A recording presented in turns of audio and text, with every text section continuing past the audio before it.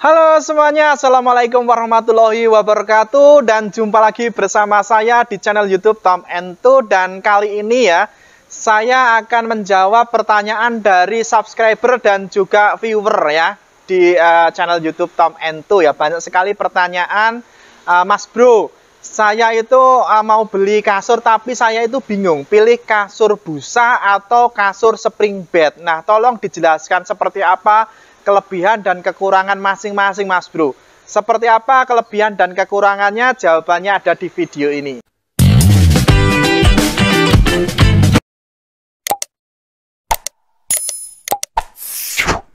Oke semuanya, dan kali ini saya mencoba untuk menjawab pertanyaan dari para subscriber dan viewer yang ada di channel YouTube Tom N2 ya dan semoga channelnya semakin berkembang dan uh, ini channel yang bisa bermanfaat buat uh, teman-teman uh, ya ketika misalnya membeli furniture. Nah, di sini uh, seperti apa sih uh, kelebihan ketika kita memakai busa atau kelebihan ketika kita memakai spring bed? Nah, pilih kasur yang mana? Spring bed atau kasur busa? Nah, itu yang pertanyaan yang sering muncul. Yang pertama ya, di sini kita lihat ya untuk kasur busa. Di video sebelumnya ini sudah kita review untuk busanya. Dan seperti apa sih ketika kita memilih kasur busa? Yang pertama itu kasur busa itu lebih ringan. Jadi kalau misalnya uh, momi bunda paling boleh pak mbok yang ada di rumah pengen uh, kasurnya itu bisa di apa itu maksudnya dinaik turunkan ya. Nah, ini kan lebih ringan ya. Nah, ini bisa memilih kasur busa. Misalnya buat uh, nonton TV atau uh, untuk uh, apa itu rebahan ketika nonton TV lah itu menurut saya kasur busa itu lebih tepat, lebih cocok karena lebih ringan. Nah, kemudian kasur busa ini selain lebih ringan itu harganya lebih lebih murah ya. Harganya lebih murah ini untuk kasur busa.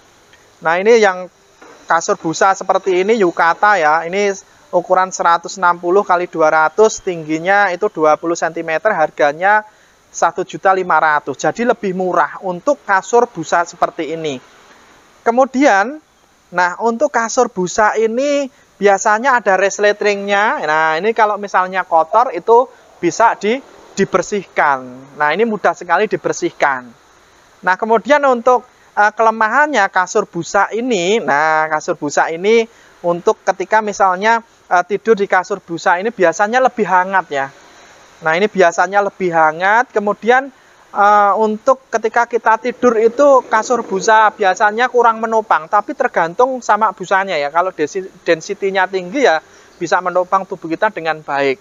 Nah kurang menopang biasanya seperti itu.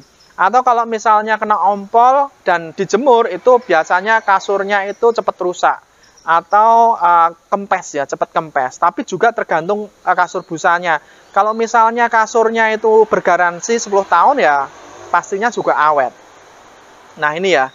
Jadi kekurangannya itu dan biasanya kalau misalnya uh, kasur yang busa ini kainnya itu tipis ya. Nah, ini kainnya itu menggunakan rajutan nighting ya. Jadi ini lebih lembut tetapi memang tipis jadi gampang apa ya yang ini kulitnya itu gampang jerabut kalau yang nighting seperti ini.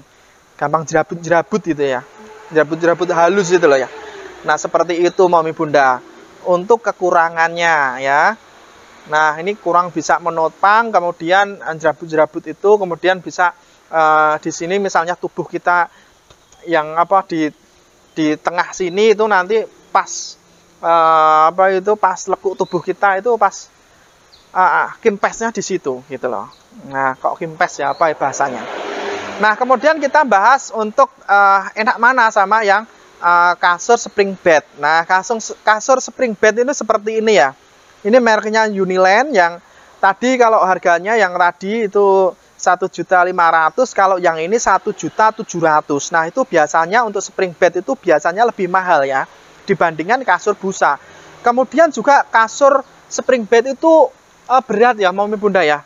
Nah kalau misalnya pengen yang portable atau yang diangkat kemudian dirapikan uh, ruangannya itu ya nggak cocok kalau kasur spring bed karena berat ya harus apa itu uh, narik harus uh, beresi nah itu repot ya kalau kasur busa. Ini kasur eh, sorry ya kalau kasur spring bed. Kalau kasur spring bed itu cocoknya ada di palnya Mami Bunda, itu bisa awet, bagus banget.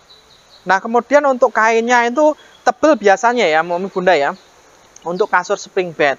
Dan juga menggunakan per, jadi menopang tubuh kita itu lebih maksimal Bunda.